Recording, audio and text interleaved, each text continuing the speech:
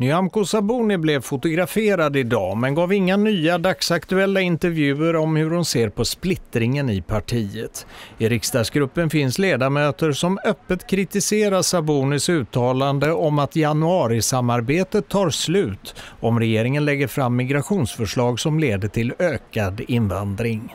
Det vore väldigt olyckligt. Jag kan ju konstatera i mitt arbete att vi varje vecka får igenom viktiga liberala reformer.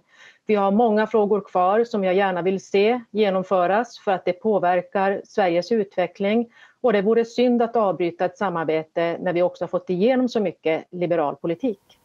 Och även ungdomsförbundet har tagit ställning emot Nyamko Sabunis linje. Ja, jag tycker helt enkelt att Nyamko måste välja sina strider. Det finns jättemånga frågor man kan fokusera på här. Det vi borde fokusera på från Liberalernas håll det är inte minskad invandring för då finns det väldigt många andra partier att rösta på just nu och Liberalerna ska inte vara ett av dem.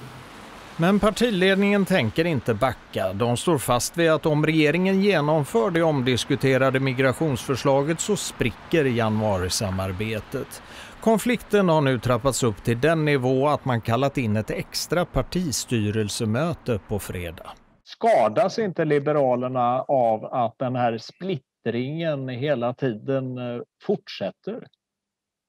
Jo, det är ju naturligtvis inget bra. Jag vill ju inget annat heller än att vi, vi möts eh, och att vi ser till att vi har en, eh, en, en rejäl diskussion inför framtiden. Hur avgörande är den här veckan?